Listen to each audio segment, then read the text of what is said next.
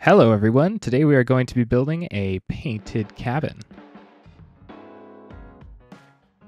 The first step to any good build is to find a great place to put it. I like to put mine in a spruce forest to match the wood type. To start off, we're going to put a stripped spruce log right at the front where we want our build to start. Then four blocks away, we're going to place another stripped spruce log. About three blocks away, we're going to place another, and then three blocks from that one, another. Then we're going to place one four blocks, and then we're going to place one eight blocks.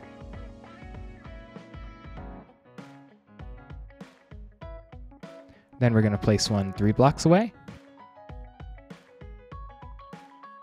And we're going to place another one eight blocks away. Two blocks. Three blocks. And four blocks away. This is going to be where the patio is going to go. Then we're going to do another four block one away. Another four blocks, making a little square there. Another four blocks. And we're going to go right back to where last and first logs intersect and place a log right there. Three blocks away from the first one. Then we're going to place a bunch of stone bricks around the edges. This will give us a little base for where our building will start at. Then we're going to place some stairs. And then up our logs by one block each, that way they get a bit of extension. Then we're going to put some spruce logs around our blocks, connecting them, forming that last part of the foundation. And then we're going to place some slabs to finish up the little area back here. Also, we're going to fill in that little area with a bunch of logs. Next up, we can move on to putting the floor. We're just going to take some spruce planks and fill it in.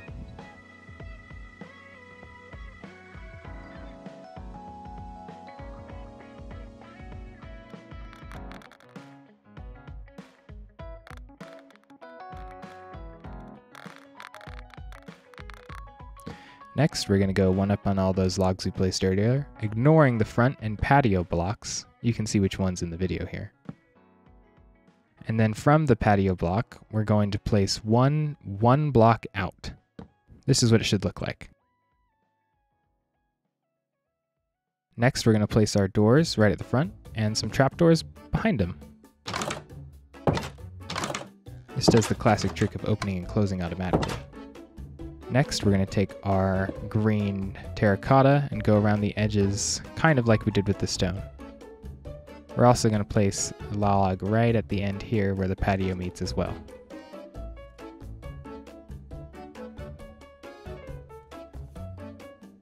Now to form our inner walls, we're going to place some logs by the doors, two blocks away from that log, another two blocks away. We're just making a little square. And then one at the end, all the way across from that. Those will be our inner walls later. Next, we're going to go up one more block, not on the inner walls. And then go over with our green concrete. When we go over with our green concrete though, we're to do a little window pattern.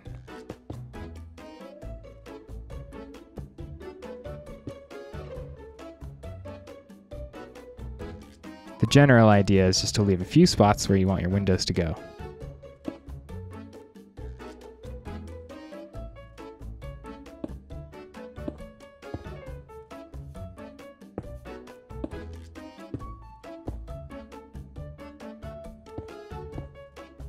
Ignore the corner back here.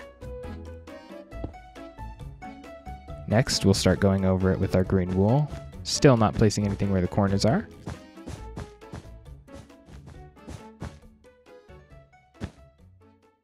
And then we're going to put a bunch of spruce logs above our door and a bunch of trapdoors facing towards the outside. This will give us a bit of a window pane feel. Should look like this.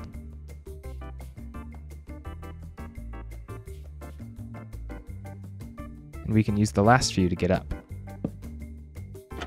Next, we're going to do the classic one block on top of all of our logs, and then fill it in with green concrete powder. We're going to go over the trapdoors this time.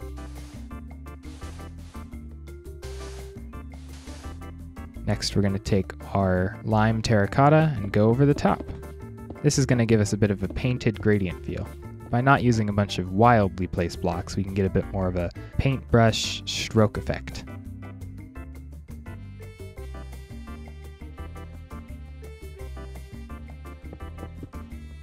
We can then take some spruce stairs and start going across, making little patterns. The general idea is to place a bunch of stairs on the side and a bunch of slabs in between where the stairs are. Maybe adding a few stairs in the middle to add a bit of accents.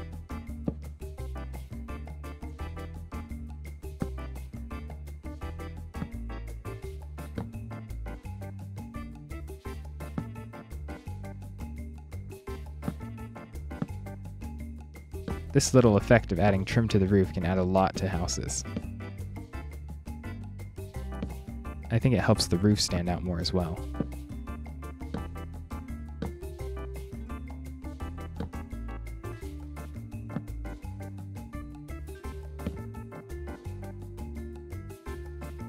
We're also going to use full blocks on the long sections, or just double slabs, whatever you prefer.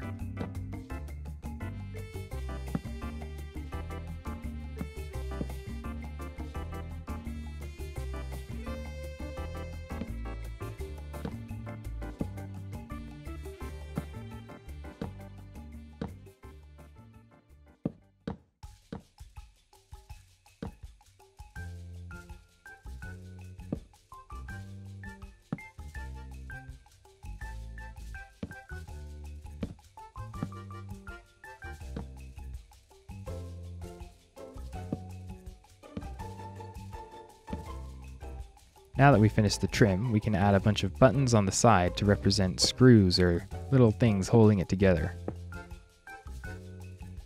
We're just going to add those to all the spruce logs.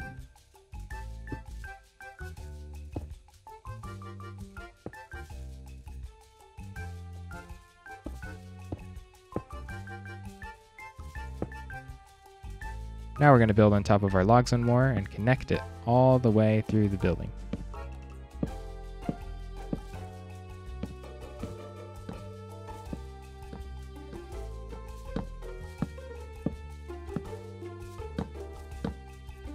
Starting on the inner walls, we can place a few facing outwards toward where our future inner walls are going. Then we can place a green terracotta right next to our window and upwards to get a ladder that goes to the ceiling. Next we'll make a little pattern with spruce logs on the interior, connecting it all the way throughout the corners which will be facing upwards.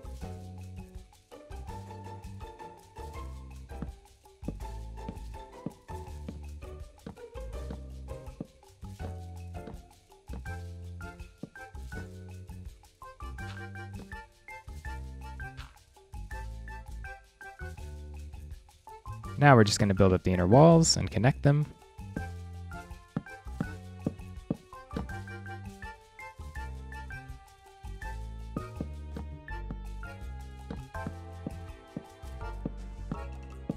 And then we're going to link them to the inner-ish outer wall.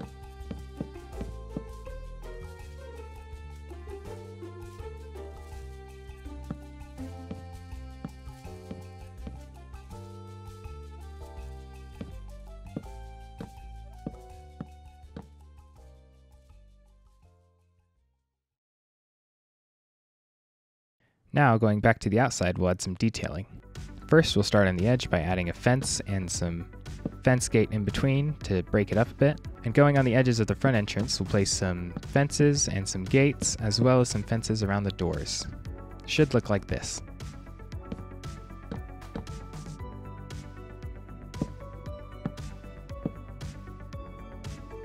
Next, we're going to go up to our windows and place a bunch of spruce trapdoors to represent what would happen if you were to open the window up.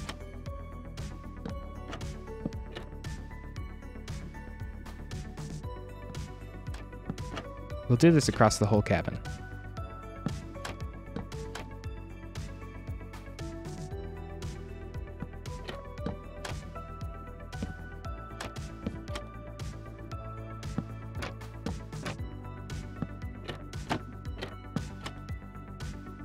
We'll then place some fences where we put the large trim last time. This is only on two sides, but I think it adds a lot.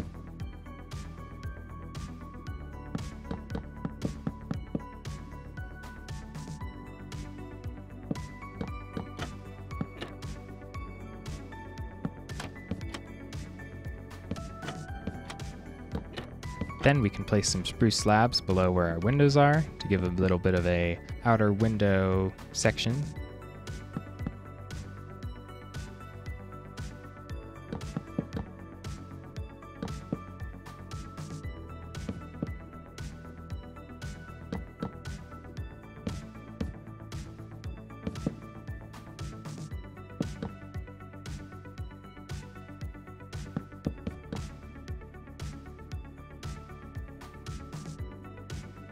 Next, we can go to the patio and place some fences and fence gates. Should look something like this.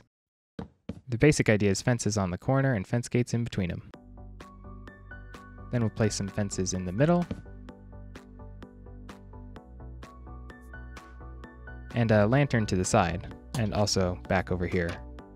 Those will help keep mobs away. Then we can put some stairs for seats, and some jungle trapdoors to keep up our table.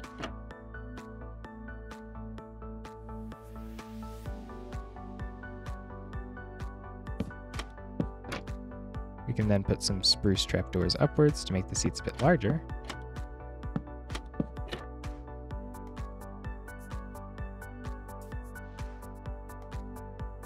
Then we can put some moss carpet on top of the fences to make a little table. Back up at the top, we can start adding jungle trapdoors above every button, making to make sure that the little stone part at the top is facing upwards. This will make it seem like it's a bit more linked in although it doesn't really matter if you decide to face it the other direction. We'll also do it above where our big trim is, and just where every button is.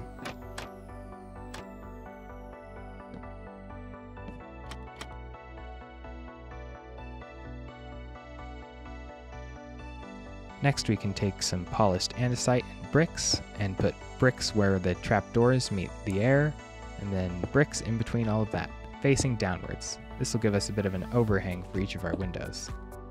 We'll do this across the whole edge of the base.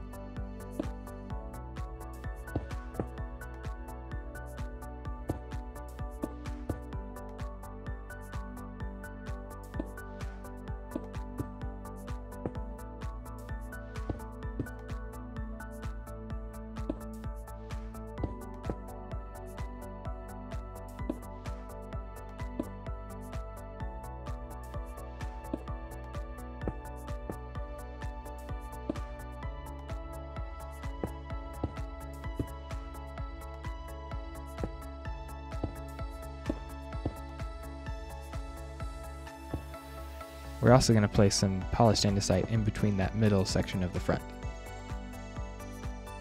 Next, we'll go up to the top and place some polished andesite on each of the corners where our logs are facing upward.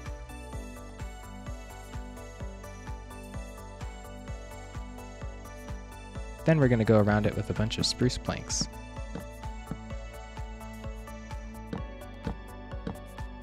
Except we're going to put some polished andesite on top of where the ladder is as well.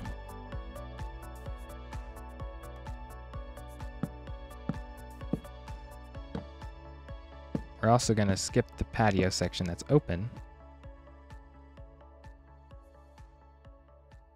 Next, we're going to go up and put some jungle stairs facing upwards around the edges, skipping the ladder.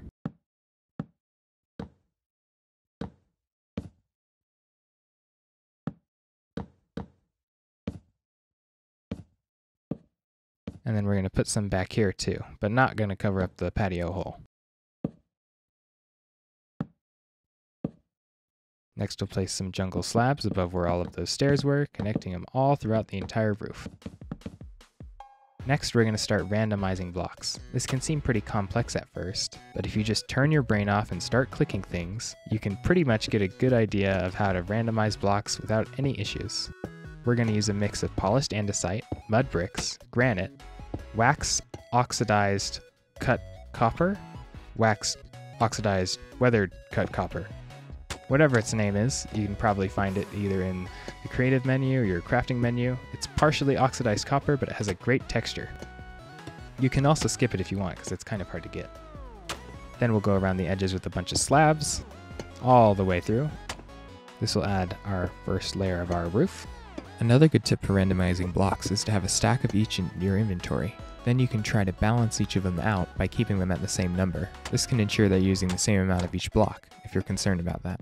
Then we'll randomize some stairs of the same types, going around where we put the spruce planks on the ground.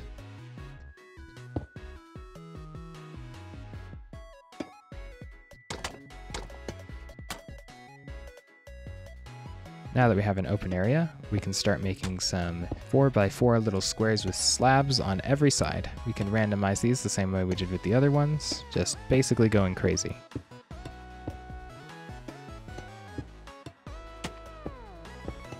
We're going to skip the top right side though. There, we're going to put slabs on where the corners would go. But then we're going to put stairs above where the corners are not.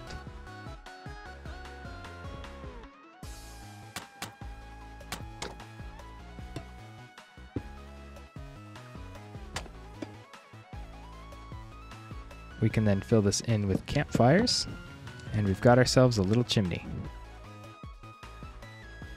Next, we're going to start the fence pattern on the roof. We're going to use a mix of jungle fences and jungle fence gates to make this pattern.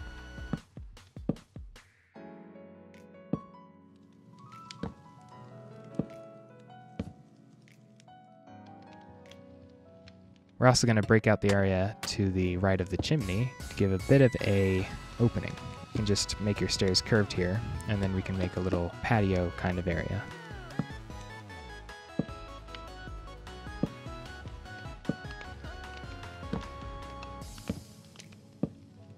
Feel free to pause the video if the pattern gets confusing.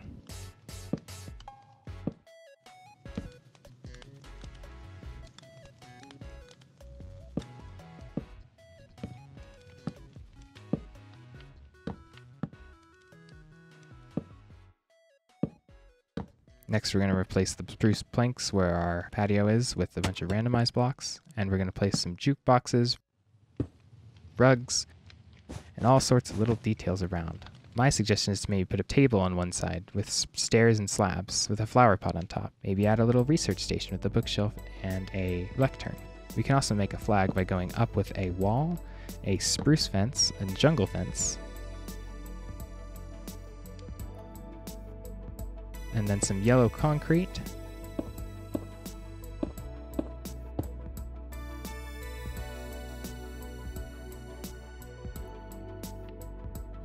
Yellow wool. We're to do it in this shape and we can get a little flag. I also like putting a lightning rod on top of this so things don't burn down around the house. Next we can go inside and add some barrels to the side walls. Add a fence post next to the ladder. Add a little rug in the middle.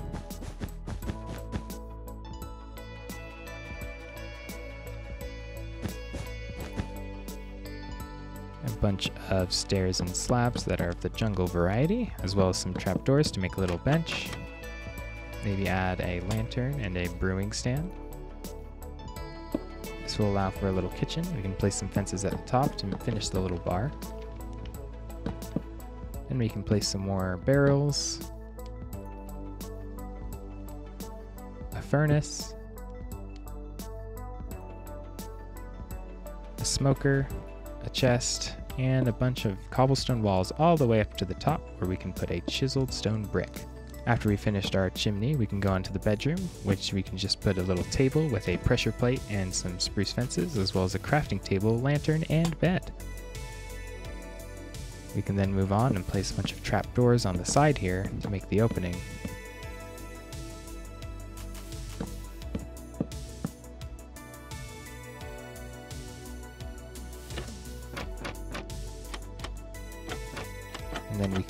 Can place some doors for a way to actually get in. You can use temporary blocks to place the trapdoors.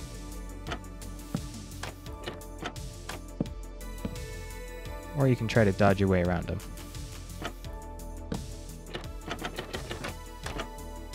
Next, we can mess around with some bushes. Just grab whatever leaves you like and mix them around and put them in whatever shape you feel looks best. I find just turning off your brain on this part can help too. Bushes are pretty random in nature, so you don't really have to worry as long as they're not mountains of bushes. Next, we can place some flowers around the base. And congratulations, you've made yourself a little cabin. Now it's all up to you what you want to do. You could change the color palette Change the color palette back, build a tree, place some bushes, clear a forest, build a rock, remove some floating trees, or even place a campfire. It's all up to you now, so I hope you have fun with your little cabin, and I'd love to see how you guys use it. Thanks for watching. I'm considering making a few more. Sorry if this one's terrible. If you didn't like the video, please tell me, and tell me what I can improve. If you did like it, uh, feel free to leave a like.